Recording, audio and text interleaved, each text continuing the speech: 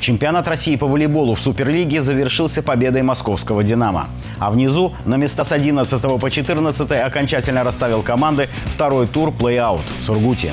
Оренбургский нефтяник, как и недели ранее, у себя дома проиграл «Динамо» из Ленобласти. Зато следом обыграл хозяев «Газпром Югру», причем сухую.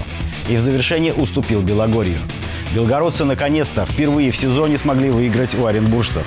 Но на турнирное положение это не повлияло. Они замкнули таблицу. Нефтяник расположился строчкой выше, на 13 месте.